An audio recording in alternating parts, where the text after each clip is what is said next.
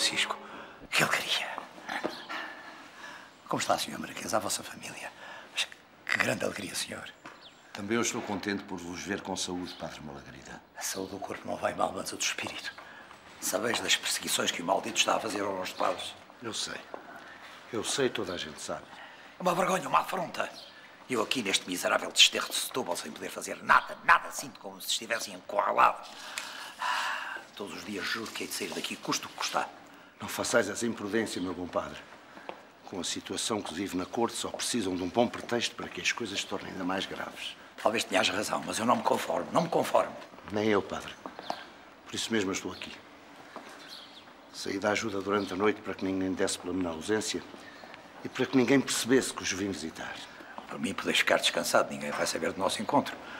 Mas o que vos preocupa para fazerdes uma viagem tão perigosa? A sorte dos que mais amo, padre. Ou muito me engano, ou está aí em marcha uma, uma conspiração para arruinar e desonrar a minha família.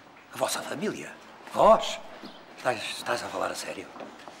Presinto uma grande tragédia, padre. Uma grande tragédia. Meu Deus, em que posso valer-vos? Preciso de um conselho e de me confessar. Eu já não confio na bondade de outros padres. Portanto, preciso que me ouça em confissão e me ajude a perceber o que se passa à nossa volta.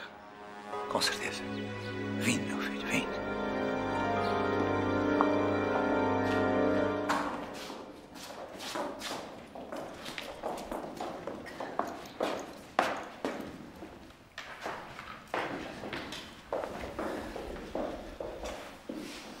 Mas ela fala? Claro que fala. A Mariana é boa rapariga, não é verdade? hã? Eu digo. Eu, eu digo o que quiserem, mas por favor não me batam mais. Pergunte. Bom, vamos lá ver. Ahm,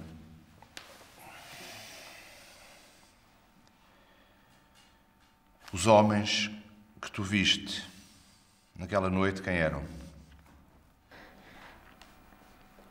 Esses. Esses vocês, vocês disseram. O Duque e os seus sobrinhos, não é verdade? Mas tens a certeza? Claro que tenho certeza! Pronto, sim, claro.